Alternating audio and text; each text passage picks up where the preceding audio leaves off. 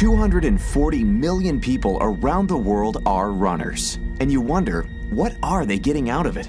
The answer the best runner in the world is not a cheetah or a horse.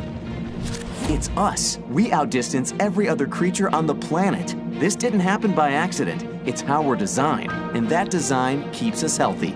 Running reduces our risk of heart disease, lowers blood pressure, helps with weight loss, boosts our immune system, improves bone density, and more and more. So if you're not one of the millions getting those health benefits every day, how do we change that?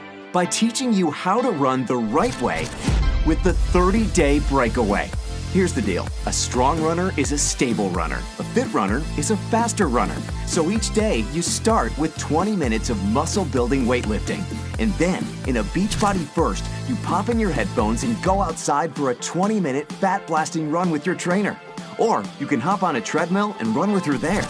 And which trainer helps you crush the finish line? One that is a total beast in the gym and an all star on the track. Beachbody super trainer and national track champion Idalis Velazquez. Shot in both English and Spanish, she'll put you through fast paced resistance training, followed by run training at the pace that's right for you. And that means if you need to walk it out, you can, until you feel like you're ready to jog, and then to run.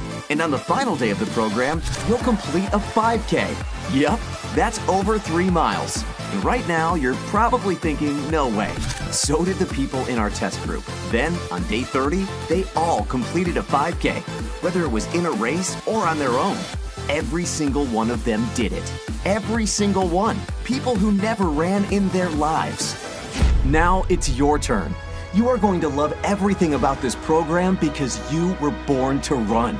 So break away from your routine, break away from your comfort zone, and even break away from your living room. This is your 30 day breakaway. Are you ready to break away? Follow me and let's break away together.